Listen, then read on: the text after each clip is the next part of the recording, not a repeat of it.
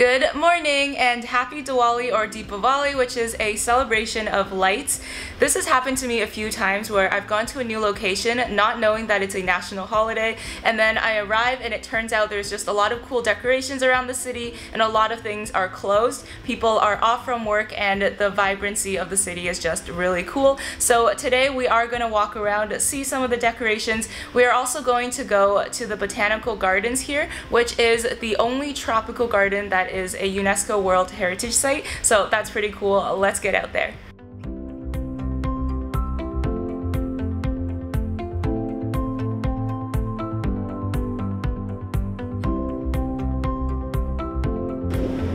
Made us walk up all these stairs when there was an escalator option.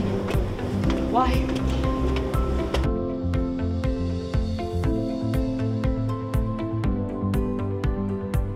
On our way to get nasi lemak.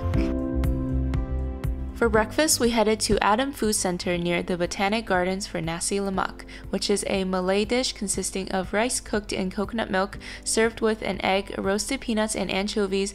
We got a deep fried chicken and sambal chili paste. We each got a drink. I got the iced cappuccino. They like to use condensed milk that comes in a can.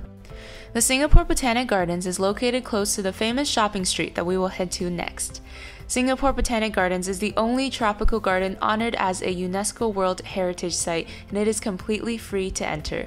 There are approximately 3,000 species of plants in the garden and some animals too. The entire area of the garden is quite large. We managed to walk a decent amount in the 2.5 hours before our feet got tired. We saw quite a few school groups visiting the gardens as well. It is and has been for over a hundred years a center for scientific research.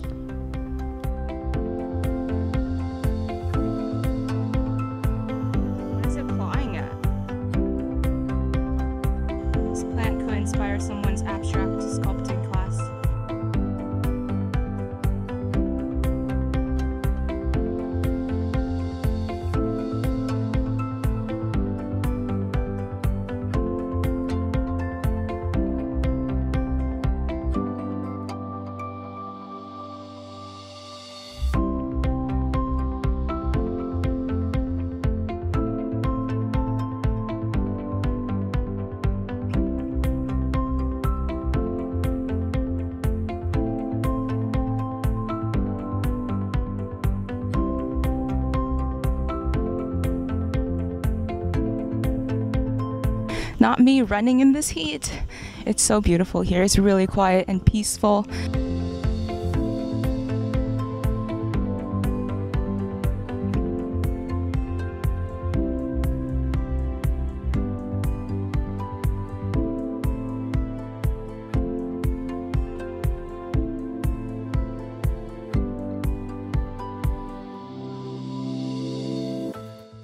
A fairly short walk away is the famous Orchard Road where you can come to spend all your money. But first, we went inside the mall to try and find the Sky Deck.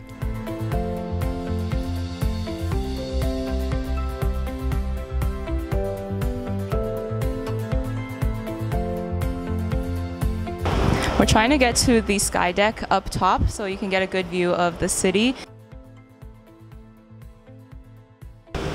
We got lost. So we're going back into the mall now. Back down to fourth floor, which is the first mall floor. And then we're gonna try to find the correct elevator up. Found it! Inside the mall's top floor, there is a sign for Ion Art where you can take the elevator up to the 55th floor. Up here is a restaurant and a bar area that was closed when we went. You can get a pretty amazing bird's eye view on the walkway leading up to the bar. However, you cannot see Marina Bay, you probably have to go inside the bar to see it.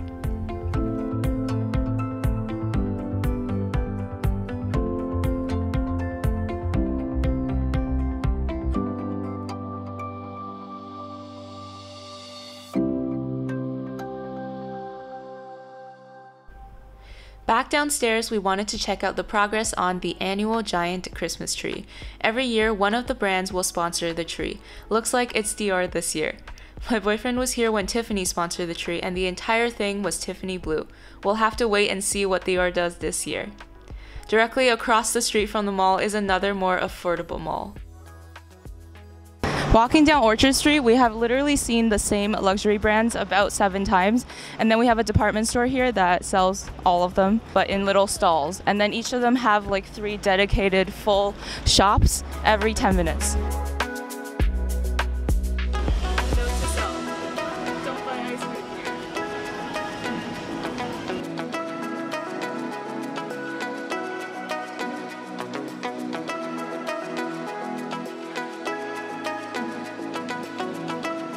Before heading back to the hotel, we walked through Arabic Street to check out the cool buildings, street art, and a beautiful mosque.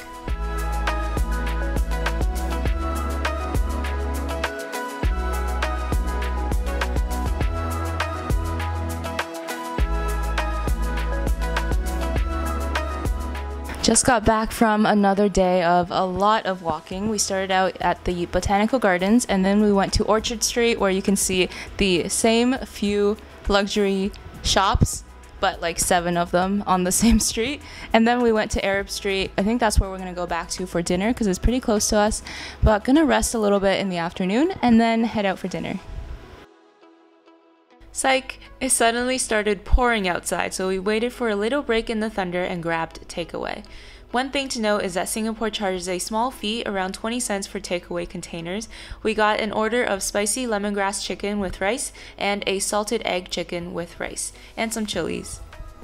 Good morning and welcome to day four in Singapore. Today we are going for another walk. My body's kind of feeling it from walking 20,000 plus steps for the last every day we've been here. But to start off, we're gonna head over to brunch, um, breakfast, and lunch. It's kind of like 10:30 right now. We're gonna go to a Malay restaurant near Arabic Street that was suggested to us by one of his friends, so should be pretty good. And then after, we're gonna go to Fort Canning and walk the park. If this doesn't tell you guys about the humidity here in the mornings, well, now you know.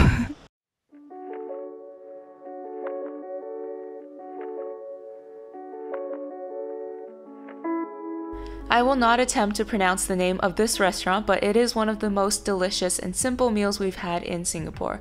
When all of the dishes are on display, the workers will help you grab a small portion of any dish you want and then tally up the total cost for you. We got seven small plates and some rice to share.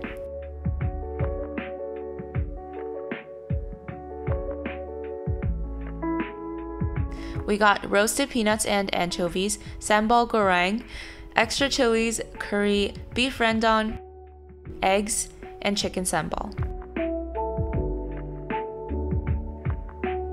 That was honestly probably one of our best meals so far. So I think Mark Wiens came here and ordered everything off the menu. We didn't do that, although I wish I could, because everything was absolutely delicious.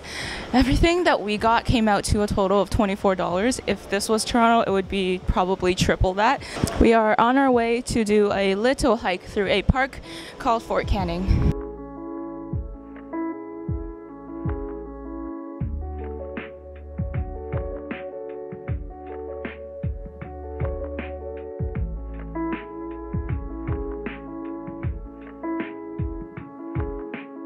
Underestimated how full I would feel after that meal. So we walked for about like 15 to 20 minutes, and now I think we need to sit down, grab a drink. So we're kind of just inside a mall. We're gonna probably get a bubble tea and then head over to the park because I don't think I can walk for another two hours without taking a little bit of a rest.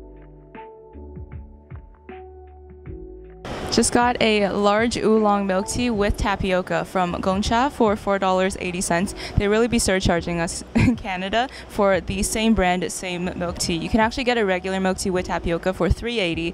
I just got like a oolong one, so it was $1 more.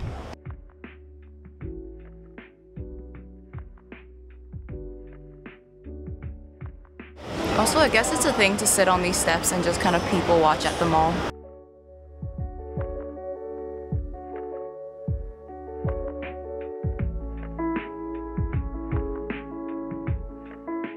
Fort Canning is a hill that has some historical and military significance.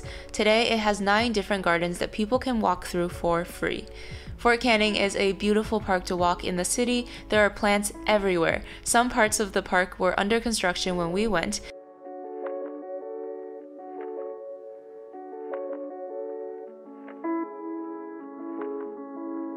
It is really humid out today, and we do have to walk up quite a few sets of stairs before we get to the top where the park starts. Um, we're kind of taking a little detour here. It's a little sitting area. Looks like there's a walkway, so instead of taking the stairs up to the top, we can walk around the sides.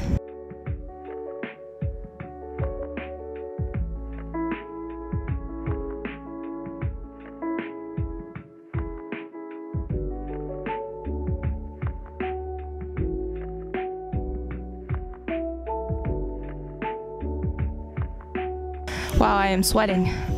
Look at my face. Just, it's really pretty here though.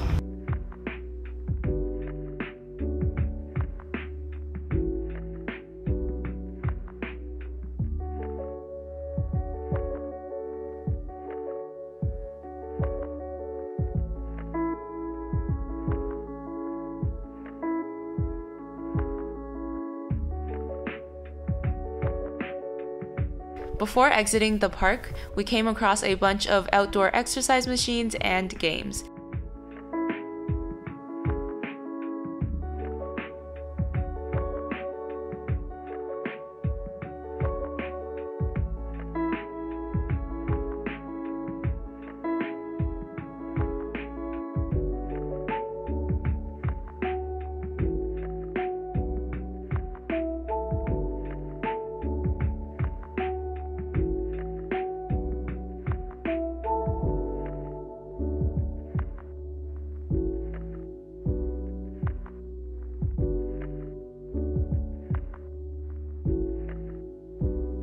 We walked past the Rainbow Building and headed back to the hotel.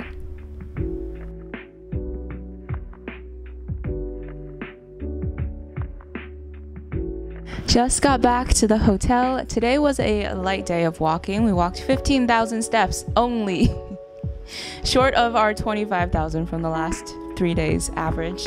Um, but we still have dinner, so it's only like 4 p.m., 3, 3 p.m. right now.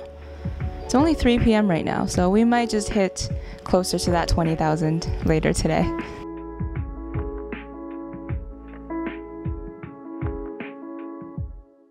Our dinner adventures today start at a chapati restaurant where we got a chicken curry and a chickpea curry to go with our chapati.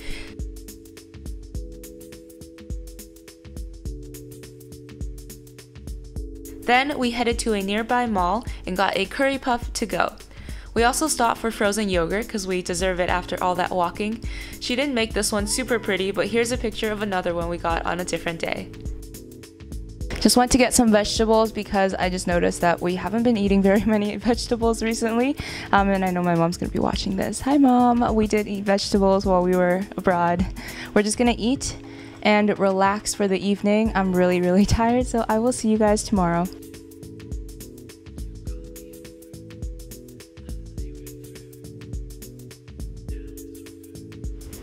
Good morning, it is day five in Singapore. Today is going to be a chill day. We're actually going to Old Airport Road to eat at the food center there.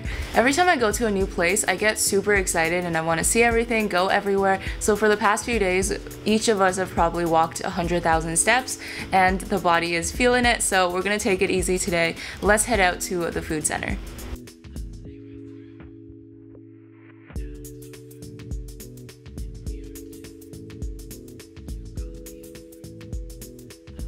First up is a hot bowl of lor mee.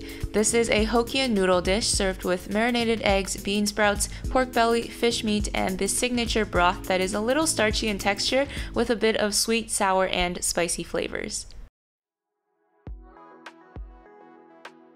Just got a soursop and dragon fruit drink. It actually tastes really good. So the soursop is this giant green fruit that looks a little bit like durian, but it's not as thick. Um, and then the inside meat I don't know how to describe it, but um, it is a little bit sweet, a little bit like a pear, but the texture is different.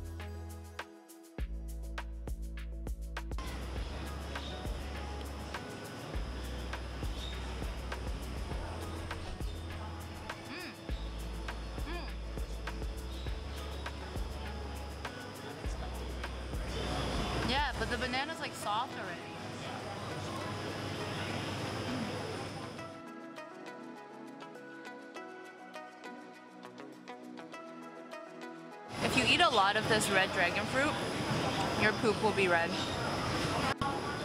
Curry puff.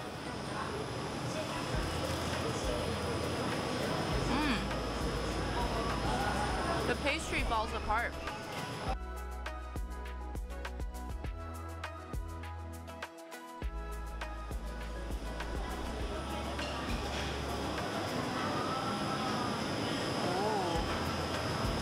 The bottom is so soft. Layer.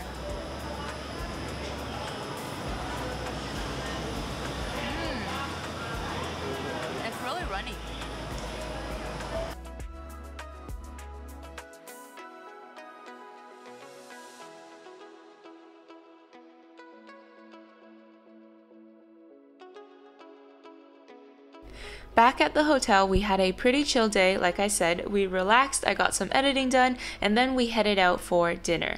For dinner, we went to two places. First is Beach Road Scissor Cut Curry Rice. As the name suggests, it is their famous curry with meat that are cut using scissors. I was honestly pretty delicious. Then we went to Chinatown because I was craving Chongqing street noodles. We went to the street stall outside the People's Park Food Center and ordered the liang mian, which is literally translates to cold noodles, and suan la fen, which translates to sour and spicy starch noodles. I like to consider myself a connoisseur of both since they were my favorite growing up in Chongqing. The cold noodles had too much vinegar and not enough numbing Sichuan peppercorn oil. I would give it a 6.8 out of 10. It's good but not great. The sour and spicy noodles were better. It wasn't as spicy as I thought it would be, so I would give it an 8 out of 10. Final stop on our day of eating is a dessert place near Bugis called Achu Desserts. They had a wide variety of Asian desserts. We ordered a mango sago with yam ice cream and a watermelon honeydew sago with vanilla ice cream. Good morning. We are on our way to breakfast. On today's agenda, we are obviously going to eat and then we're going to do our laundry because we are flying out to our next destination soon and I'm running out of clothes. So we're going to do laundry and then afterwards, we're thinking of going to the zoo in Singapore Singapore. It's one of the biggest zoos in Asia, so that's going to be super exciting. I'm really hungry, so we're going to get breakfast, probably get some lunch and snacks along the way.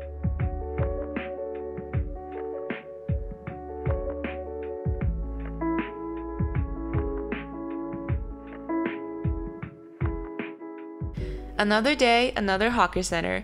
This was close to our hotel. We started with a Malay platter of different dishes with rice. The restaurant we went to near Arabic Street was better, but this was pretty good also. I got a cappuccino from a drink stall, and then I was really craving laksa. I am allergic to some shellfish like clams and mussels, so I asked him to make the laksa noodles without shellfish. It normally comes with quite a bit of seafood. After a quick stop at our hotel, we headed out to the Singapore Zoo.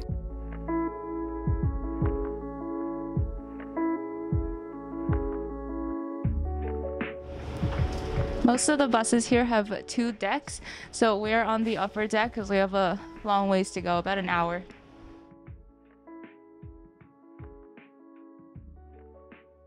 Our bus ride was about an hour, but it felt pretty quick. It was cool to see some surrounding neighborhoods in Singapore outside the downtown area. Singapore just feels like a well designed country. Speaking of well designed, we have arrived at the zoo. But first, I needed to use the washroom, which had this bat colony on the way, and that really expedited the process. The Singapore Zoo has a wide selection of animals from all around the world. The layout of the zoo is sectioned by regions of the world with individual exhibits for certain species. Without going into detail about each animal, because I am not an animal specialist, here is a little highlight reel of the animals we saw.